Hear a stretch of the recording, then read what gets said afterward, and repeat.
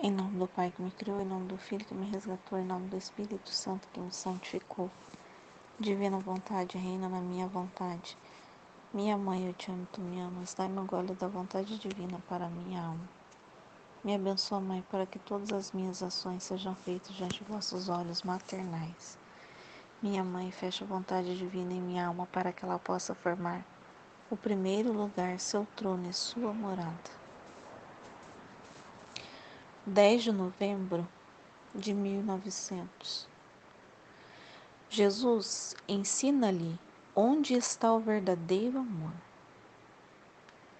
Continuava sem vir e eu me sentia imersa na maior amargura.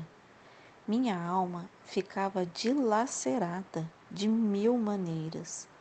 Sentia como uma sombra junto a mim e ouvia a voz de meu adorável Jesus, mas sem vê-lo, que me disse.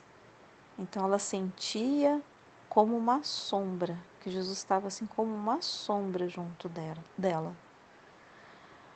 O amor mais perfeito está na verdadeira confiança que se deve ter para o objeto amado. E, ainda que se visse perdido o objeto que se ama, então mais que nunca é tempo de demonstrar esta viva confiança. Este é o meio mais fácil para se colocar em posse do que ardentemente se ama. Disse isto, desapareceu a sombra e a voz. Quem podia dizer a pena que sinto por não ter visto o meu amado bem? Eu vou ler de novo é, para entender certinho, né? O amor mais perfeito. Então vamos lá, o amor mais perfeito é Jesus falando. Está na verdadeira confiança. Então, a gente, na verdadeira confiança que se deve ter para o objeto amado. E ainda que se visse perdido o objeto que se ama, então mais que nunca é tempo de demonstrar essa confiança. Este é o meio mais fácil para se colocar em posse do que ardentemente se ama. Então, o que, que eu entendo aqui é que o amor é a confiança, né? É, Hoje houve umas situações de, de conversa e eu acho que que está relacionada a isso, né? Que a gente estava, é, eu, eu, eu lembrei de dois exemplos assim que eu fui numa numa reunião né, de grupo aqui, de, de casais que tem aqui na minha cidade. E aí, bem no final da reunião, houve um testemunho, sabe, de um homem, né? Tem minha idade, 40 e poucos anos, que ele falou que ele não. A, os pais dele nunca levaram ele na igreja e nunca ensinaram ele a rezar. A única pessoa que apresentou Nossa Senhora para ele foi a avó. E aí ele pegou um amor, assim, ele, ele sabe, por essa avó ter apresentado Nossa Senhora para ele, ele disse que ela rezava com ele né? Só que ele era criança, ele não memorizou as orações, assim, tipo Ave Maria, ele não gravou, né? Ele, ele não sabe rezar. Ele, ele mesmo falou que ele não sabe. Para ele rezar essas coisas, ele disse que pega o celular para ler. Mas aí foi só tocar no nome de Nossa Senhora, ele chorou, chorou, chorou, chorou, chorou, chorou. Porque ele falou assim que ele não que só dele tocar no nome, né?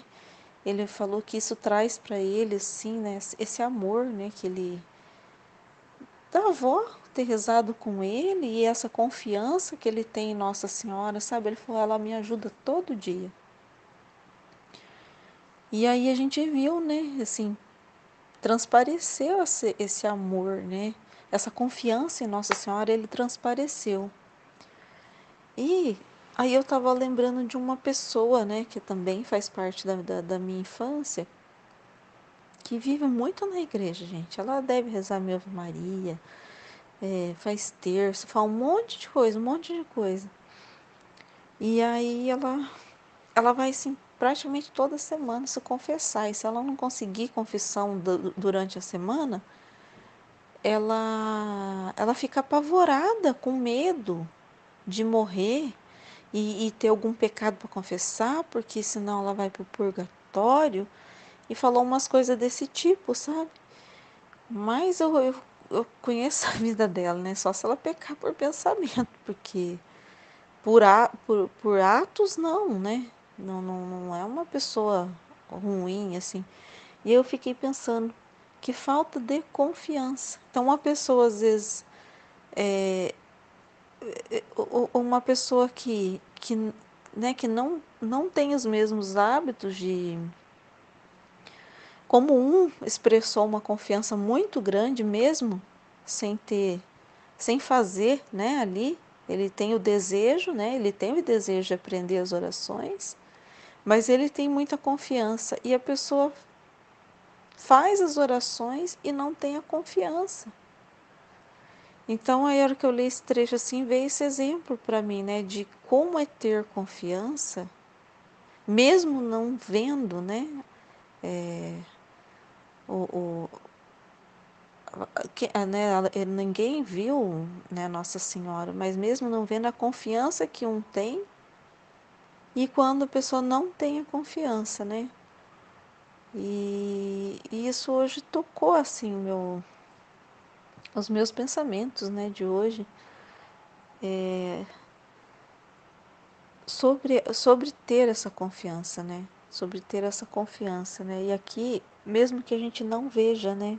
Aqui Jesus tá, aqui claramente a Luísa, ela não está vendo Jesus, ela está vendo uma sombra, né? E mesmo assim Jesus veio falar para ela, olha, mesmo que não me veja, confia em mim. Então, muitas vezes, nós, nós estamos aqui pelo pura, pura fé, né? Por amor mesmo. Porque a gente não confia. Então, parece, a gente não confia, a gente não vê, né? Então, a gente tá. tá eu tô por pura confiança, né? Nessa, em amor a Jesus, porque eu vejo, eu, o que eu vejo Ele é na forma que Ele cuida da minha vida, né? Então, Ele é essa presença né, que ele tem na, no meu dia a dia, né? De é tão simples, né, o meu dia a dia e eu, como ele fala aqui, né, o objeto amado, mesmo que não que eu não estou vendo, é aí que eu provo para ele mais amor, porque eu não vejo Jesus assim como algumas pessoas vê, já vê, tiveram sinais, né? de tanto de Nossa Senhora, já viram Nossa Senhora, já viram o anjo, já viram Jesus, já viram algo sobrenatural, né? No meu caso, eu tô assim, igual Jesus falou aqui, olha, ainda que não vê, né? Ainda que não se visse o, o perdido objeto que se ama, então mais que nunca é tempo de demonstrar esta viva confiança. Então, para mim é essa parte, sabe? Eu não vejo, eu não vejo. Aqui a, a minha vida, o, o meu olhar é pela fé, é, só, é pela fé, né? Eu não vejo com os meus olhos, né? Esses olhos, assim, essa, essa, essa parte, mas o meu coração vê, né? O meu coração confia pelos detalhes, pelas riquezas de detalhes que Jesus coloca ao meu redor. São riquezas de detalhes. E, sabe, é, observando, se a gente observar a nossa vida, o nosso dia a dia, a gente vai ver a riqueza de detalhes, né? A gente não vê, mas a gente é o objeto amado dele também. Né? Ele demonstra o tempo inteiro. Então, é, e, ele, e ele quer isso, né? A nossa confiança, apesar de, né? Esse apesar de. É, essa é a nossa prova de amor né, para Jesus, né? Este é o meio mais fácil para se colocar em posse. Né? Olha que lindo. Porque eu tô falando aqui, eu falei assim, nossa, eu eu sou essa parte que não vê, né? Não, não, não, não com os olhos, assim, os olhos, mas como eu vejo, como meu coração sente, como eu entendo que Ele está cuidando de todos os detalhes, eu tenho essa confiança, essa, essa confiança, a gente toma mais posse dele ainda. Po Olha que este é o meio mais fácil para se colocar em posse do que ardentemente se ama. Né? Então, esses olhos da fé né, que a gente vê, né, esses olhos da fé que a gente tem, essa confiança, a gente toma mais posse ainda. A gente, é, eu lembrei, foi de uma partilha da Michelle, que exatamente ela falou isso. Eu também não vejo com o meu olho assim tal, mas mas pela fé que eu tenho, pela confiança e por, por, essa percepção né, do que está na nossa volta, de perceber que tudo está sendo cuidado, amado. É... Hoje também eu vi um testemunho lindo, lindo, lindo da, da Denise, que ela precisava de, de cuidar do irmão, mas a casa da mãe é mais longe e aí ela precisou, precisava ir de Uber, né? Mas o Uber tá ficando muito caro. Ela falou, Jesus, eu, nós vamos a pé, né? Como o senhor andou tantas vezes, né? É, para pregar né, o evangelho, para o senhor andou tanto nessa. Foi lindo o testemunho dela. E aí ela disse que uma senhora que ela ajudou algum tempo atrás ligou para ela assim e falou: Olha, eu vou pagar o Uber para você poder ir lá na casa da sua mãe sem saber da história. A, a, a, o canal que Deus utilizou foi uma pessoa, né? uma pessoa do convívio dela para falar as palavras do que ela conversou com Jesus. Né? Então, essa pessoa que falou com ela.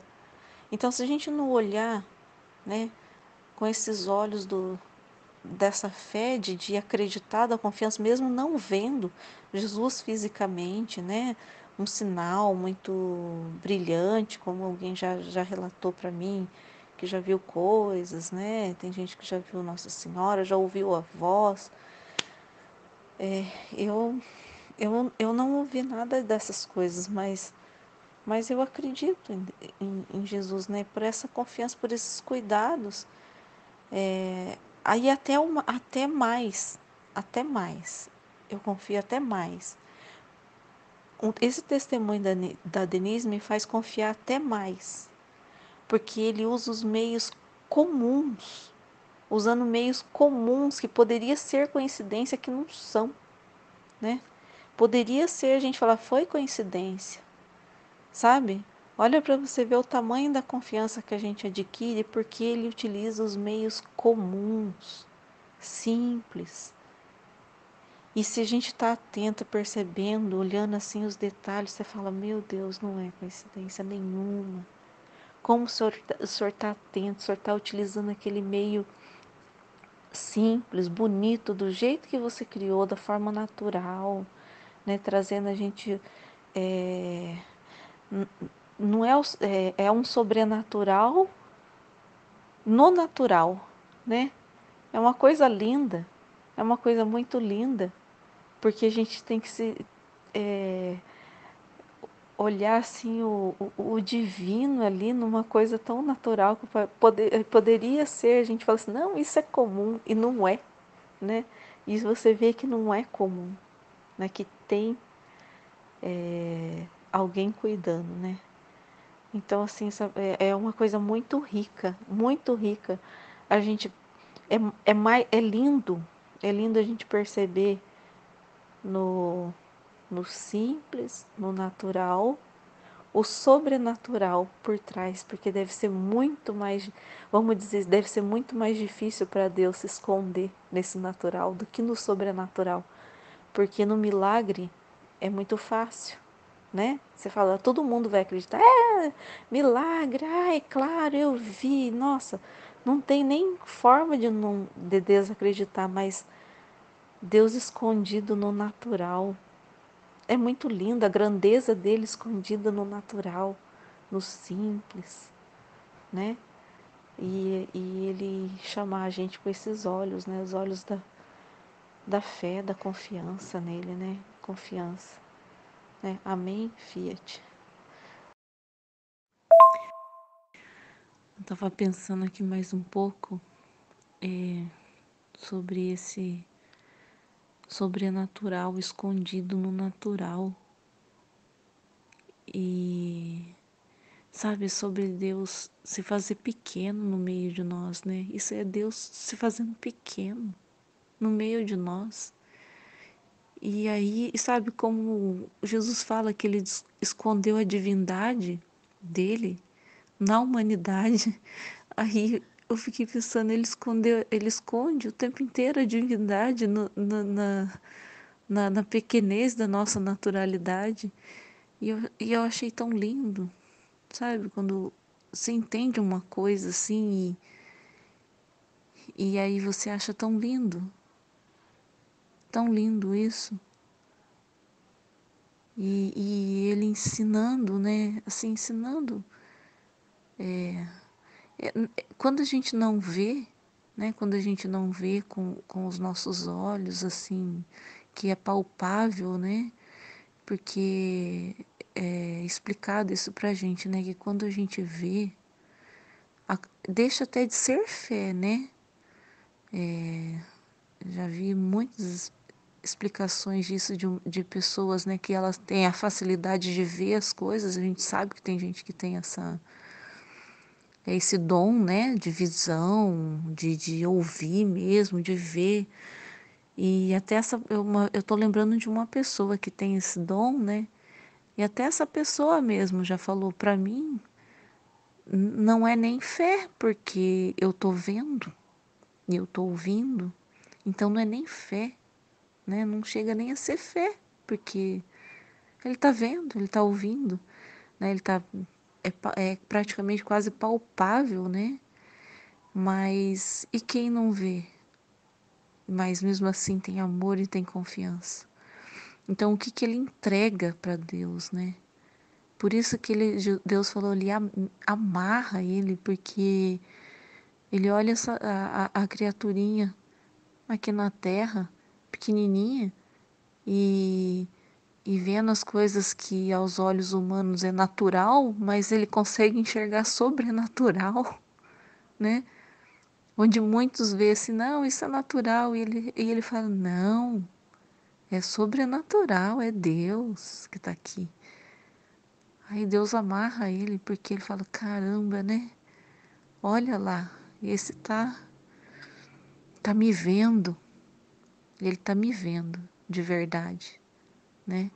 Ele está me vendo. Então eu fiquei pensando nisso assim e, e achando lindo assim as coisas é, que Deus faz, né? A forma que Ele conduz, a forma que Ele pensa, que demora um pouco às vezes para a gente entender e compreender, mas é, conversando com ele mesmo, né? Que o livro do céu é uma conversa com ele mesmo. E a hora que eu peguei aqui o trecho, eu falei, meu Deus, o que, que o senhor está querendo dizer com isso? Né? Como? Qual exemplo que eu vou pensar? O que, que eu vou. Né? O que, que eu vou relacionar e. E aí essa conversa e ele ensinar uma coisa que está dentro e, e, vem né, no coração, na verdade, ele explica para nossa alma e a gente acha lindo, né? Linda essa comunicação. É, amém, Fiat.